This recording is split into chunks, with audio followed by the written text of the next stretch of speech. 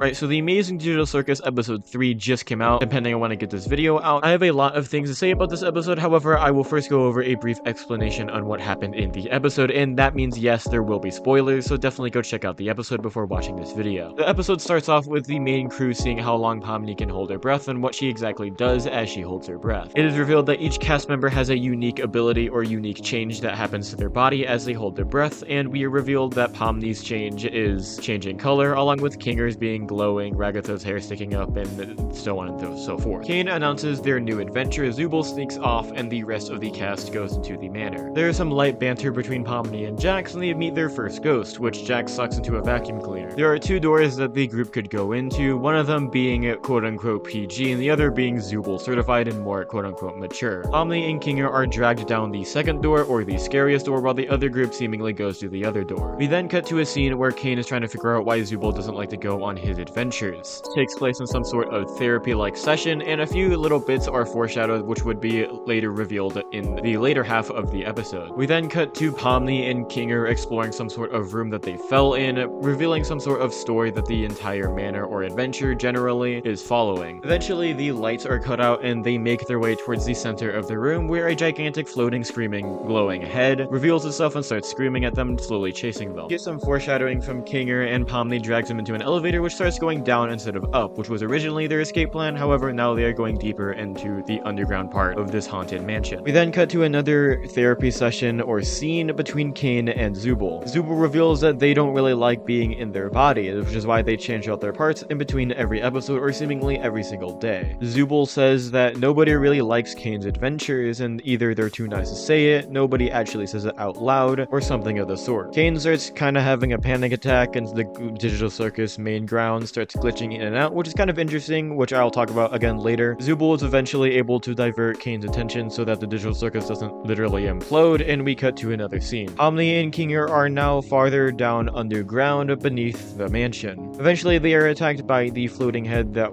showed up before, along with its body. Kinger is able to find a shotgun and shoot both of them, which is then when it's revealed that it was actually an angel and they get dragged down to the pits of hell. I know, your average Tuesday. We then cut to a scene where Ragatha and Gangle are having a nice cup of tea with a ghost, which is actually the owner of the mansion's wife, who he killed, but that's unimportant. We also get to see Jax tied up with duct tape over his mouth so he can't move or speak. I wonder why they did that. We now cut to Kinger and Pomni, who aren't really seemingly in the pits of hell, but are in like a metaphorical version. At least that's just what I picked up or interpreted it as. I don't know. Pomni tries to leave by going through a hallway and up some stairs. However, she is temporarily possessed by some ghosts, and Kinger is able to literally beat the out of her with the butt of the shotgun. Through this, they try to relax and just collect their thoughts. Here, we actually get a very heart-to-heart -heart moment between Pomni and Kinger, which I will get into again later. Together, they try to walk down the hallway holding their breath, as Kinger thinks that's what gets the ghosts to be able to possess them. It works, and they're able to escape the deepest part of the manor, and are able to rejoin the main cast. Pomni goes up to Ragatha, and it says that she appreciates how nice Ragatha has been for the past three episodes, and that's pretty much where the episode ends with there being a few ending bits towards the end of the episode, which I'll talk about a little bit towards the end of this video. Now it's actually time for my part in what my thoughts were about this episode. I will start off with the bad stuff and then get to the stuff I really appreciated. First off, the pacing of this episode was a bit wonky towards the beginning, however it did even out so I won't give too much critique about that area. Second, I don't really like how they sidelined Jax. Jax would have been a really funny character in this episode and personally I really like his jerk-like personality and I think it would have been a cool addition to this episode as we also got to see at the very beginning of this episode.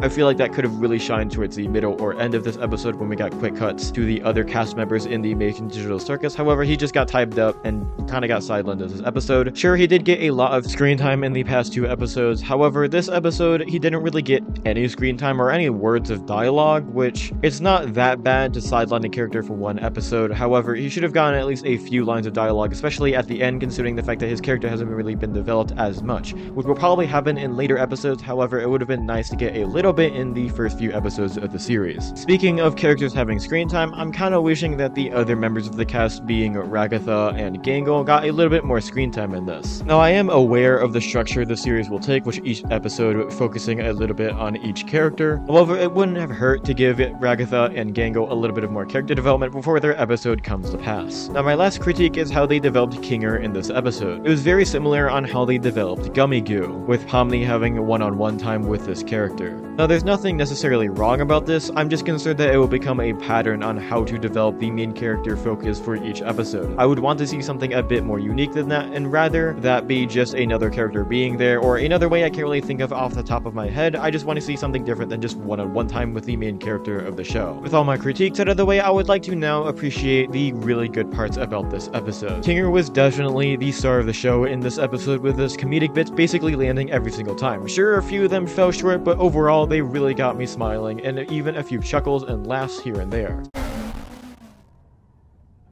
I'm sorry. Could you speak up? I couldn't quite make that out.